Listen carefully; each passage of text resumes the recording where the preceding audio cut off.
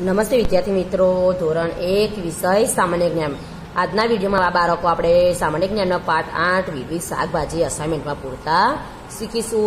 અગાઉના વિડીયોમાં બાળકો આપણે પાઠ આઠની અંદર શાકભાજીને ઓળખતા શીખી ગયા, તેનો રંગ, તેનો સ્વાદ, ત્યાર પછી તેને, તેનું વાક્ય વાંચીને તેને ઓળખતા પણ શીખ્યા.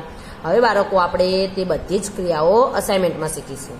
તો બાળકો, અહીંયા આપણને પ્રશ્નોની સાથે જવાબ તો આપેલા જ છે, પરંતુ આપણે એને ફરીથી રિપીટ કરીશું અને સાથે એનો જવાબ પણ શીખીશું. તો બાળકો, અહીંયા પ્રશ્નોના જવાબ આપ્યા છે કે આપણે રોજ શું ખાઈએ છીએ? તો બાળકો, આપણે ફ્રૂટ તો અમુક દિવસ ખાઈએ જ પણ છીએ અને અમુક દિવસ નથી પણ ખાતા. પણ જ્યારે શાકભાજી છે, તે આપણે દરરોજ માટે ખાઈએ છીએ.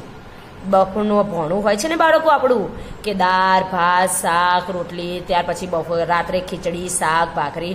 એટલે આપણે શાકભાજી તો રૂટિનના બંને ટાઈમ ખાઈએ છીએ. એટલે આપણે હવે લખીએ અહીંયા કણ કે આપણે રોજ શું ખાઈએ છીએ?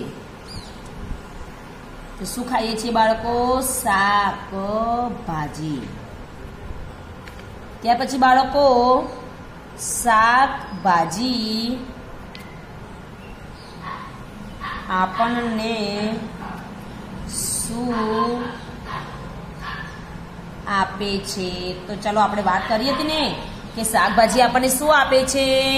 અને બાળકો, અહીંયા તમે એક વખત દેખ્યું અહીંયા પ્રશ્નાચિહ્ન છે, એટલે આપણે પ્રશ્ન પૂછીએ કે કે શાકભાજી આપણને શું આપે છે?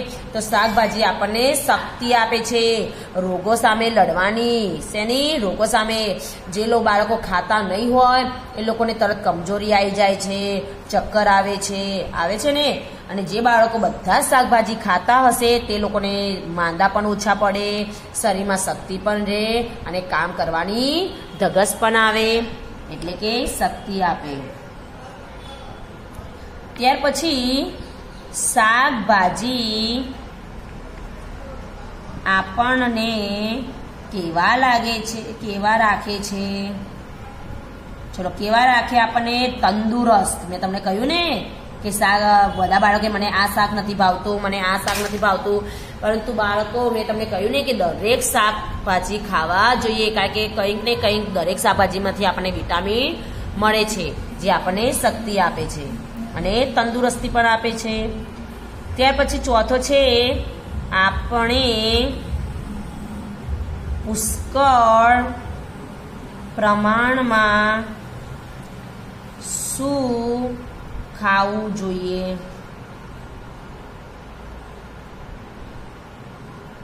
તો ચલો, શું ખાવું જોઈએ પુષ્કળ પ્રમાણમાં?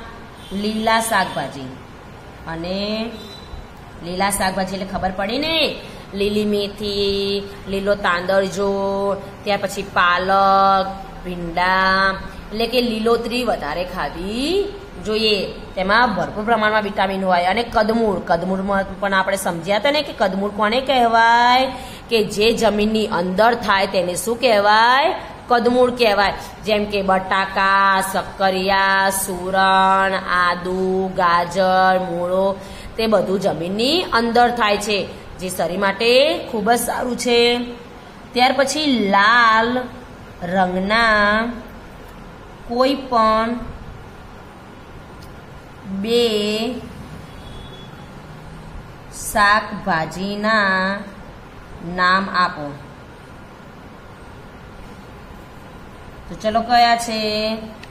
ગાજર પણ લાલ અને ટામેટું.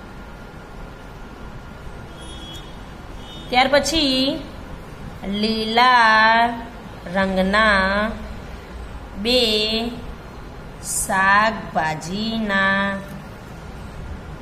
નામ લખો. તો ચલો કયા છે?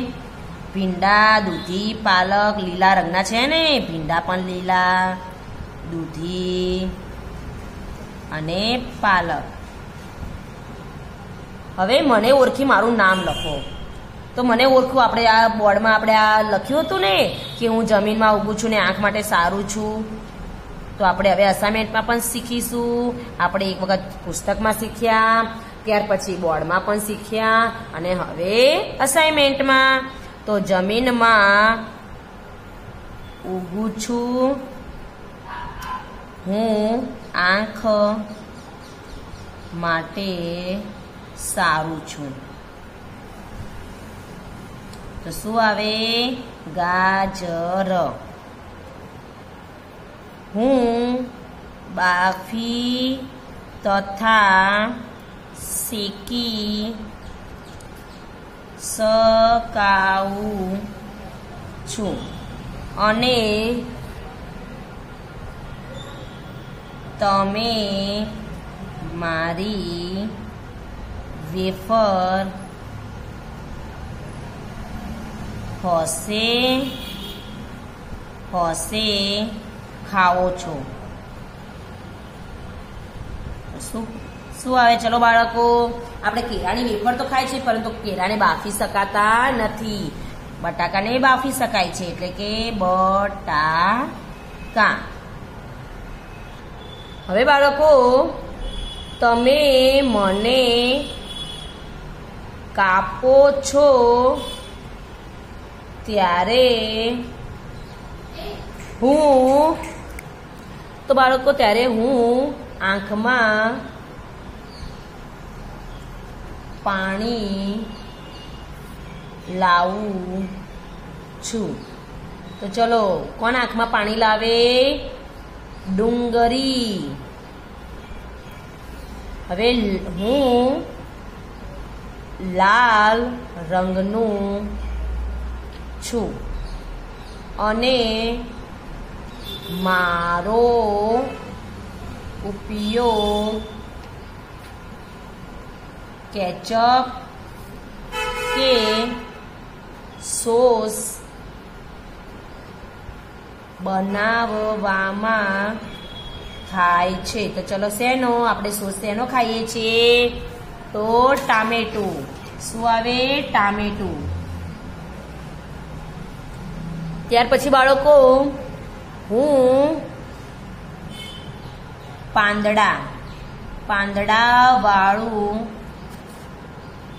શાક ભાજી છું અને લીલો રંગ ધરાવું છું. ચલો, લીલા રંગનું શું હોય?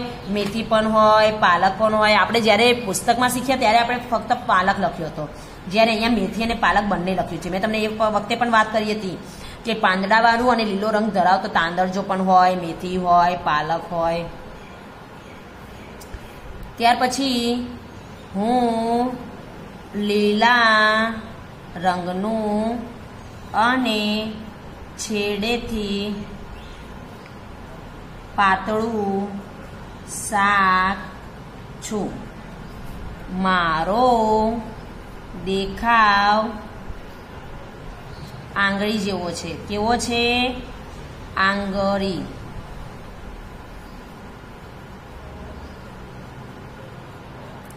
ચલો, શું આવે બાળકો? ભીંડા. લેડીઝ ફિંગર કહેવાય ને તે.